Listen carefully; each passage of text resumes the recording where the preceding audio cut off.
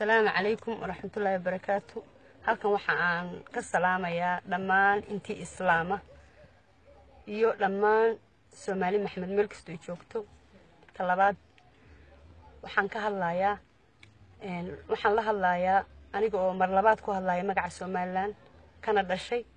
Baa waxaan la hadlayaa walaalahayga somalilan dowladda somalilan iyo shicibka meel kastoy ku nool yihiinba.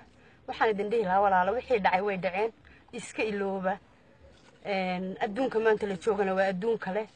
Nin walibana maalintuu dhinto waa yoomal ma fahante dadkan aad xidhxidhaysaan joojiya. Walaalahay baad tihiin. Fanaaniintan marka ay booqasho idinku imaadaan aad dalka u diidaysaanna waa nagu ceeb joojiya. Ta labaad annaga ganacsatooyin baa nahay. Nairobi baan deganahay maqaayadaa nooga furan. Dadkii baa na wada colaadiyey. Qof noo soo gelaya male qabyaaladan iyo waxaan aad wadaan dadkii o dhan baa naga xanaaqaaya dowladduna nama oga siraayana wax nama siiyo. Waa madaxweynaha yaga waan ayidsannahay laakiin waxyaabaha qaarkood in lagu dhaqmaa waa qalad marka walaalayaal diinta nebi maxamed waa mid aan ku dhaqanno diinta nebi maxamed. Teeda kale walaalayaal waxaan idiin sheegayaa gabadhi horta waa gabadh. Gabadh bayna idiin tahay.